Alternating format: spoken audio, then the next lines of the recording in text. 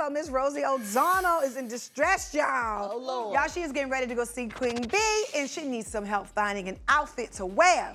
now, y'all know that Beyonce has made it very clear that if you coming to see her, she wants you in a certain attire, and Miss Rosie just doesn't have it in her closet, child. Check this out.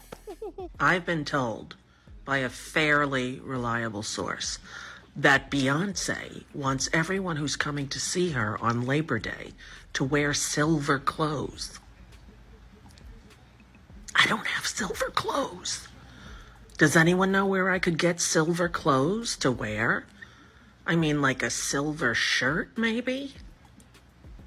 I mean, I want to be part of the cool kids. I love how concerned she seemed about the whole situation. Oh, Rosie. When you went there, did you like you saw like people are really decked out in silver No, and yeah, they, everything. and they serious about it. yeah. They were No. walking miles to get to the concert from where they parked in She silver wanna heels. this But were you in y'all to come Beyonce in dress silver. code when you went? Hell no, I didn't even know about the dress code. you showed up.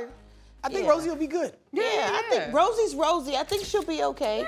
But she wants to be one of the cool kids. She can get it. Just get you a gray button-up Rosie or something, you know. Or put some. Murray's grease on like the gray hair. It'll give it a little bit more of a metallic, shiny look. You are truly in a league of your own. Spray You your be all right. hair a little Yeah. bit. Yeah, Period. You spray got your hair with hair? some glitter spray. You got that. Period. Would a do-rag work? Yeah. Not a do rag.